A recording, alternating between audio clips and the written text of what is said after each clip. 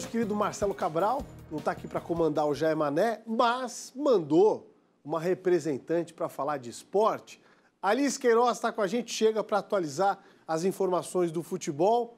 Figueira, né? Poxa, perdeu em casa na Série C no dia do aniversário. Fala, Alice! Boa tarde, Polito. E para quem nos acompanha aqui no BG, hoje o esporte é comigo. Mancha tá de folga e a gente já começa falando de futebol. O Figueirense queria muito comemorar, mas a verdade é que o aniversário do clube foi carimbado com uma derrota e de virada. Vamos ver como foi? Esta segunda-feira foi muito especial para o Figueirense, 102 anos de muitas histórias e conquistas. E o dia estava se encaminhando para encerrar com uma bela vitória dentro de campo. Mas infelizmente não foi assim. Com a bola rolando, Wilson fez um verdadeiro milagre no começo do jogo. O Alvinegro foi para cima e em um belo contra-ataque, Gustavo França marcou um lindo gol.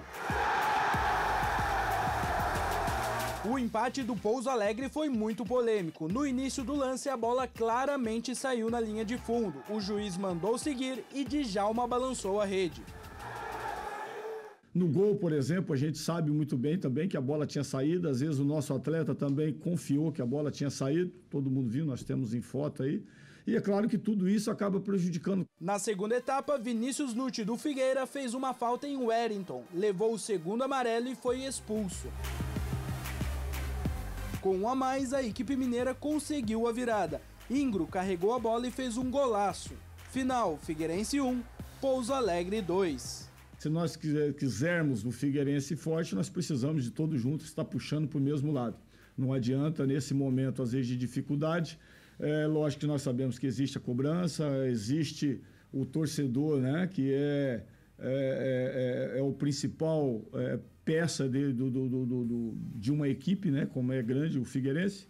Mas nós precisamos, se nós quisermos fortalecer e sair e sobrepor outras equipes, nós temos que estar todo mundo em sincronia, buscando e trabalhando para o mesmo lado. Fábio Machado já chega mais para comentar essa derrota do Figueirense, que acabou se afastando ainda mais do time do G8. Fala, Fábio.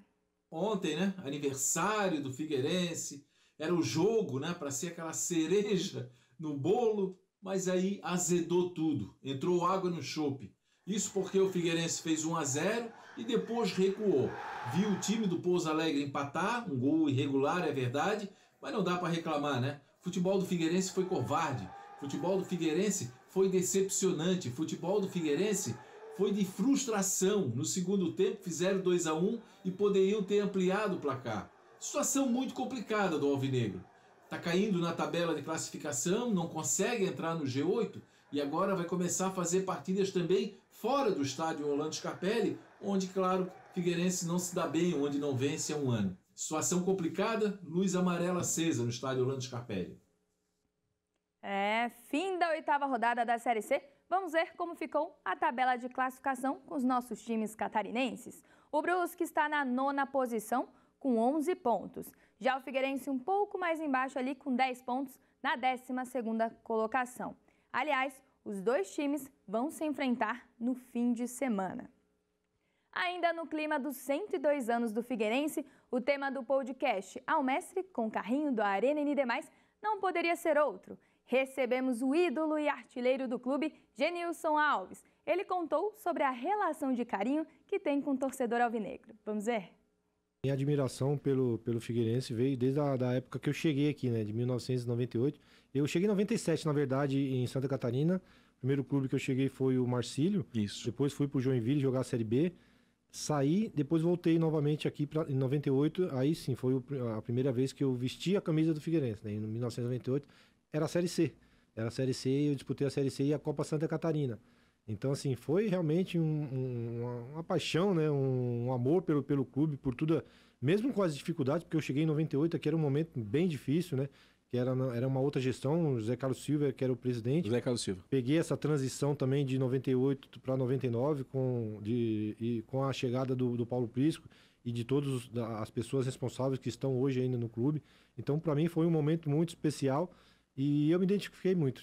É, foi realmente um, um, um, é, uma, uma energia para os dois lados, não tanto para mim quanto para o, para o torcedor, que eu, toda vez que eu botava a camisa do Figueirense, tudo funcionava bem. A torcida do Figueirense ganha jogo, Genilson? Ganha, ganha, claro que ganha. Já já já está provado isso daí, não, não, não é de hoje, né? Sempre foi assim.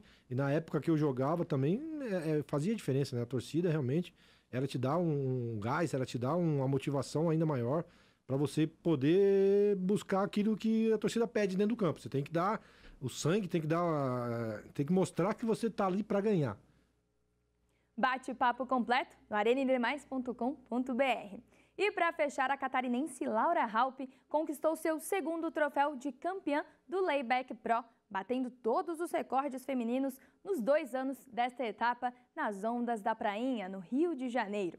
A decisão foi contra a líder do ranking, Tainá Hinkel, que, por sinal, também é catarinense. O resultado terminou em 15,76 a 13,53 para Laurinha, que subiu para a terceira posição no ranking feminino e briga para se classificar para a elite do surf. O esporte vai ficando por aqui. Polito, devolvo para você. Valeu, Alice. Um beijo. Obrigado.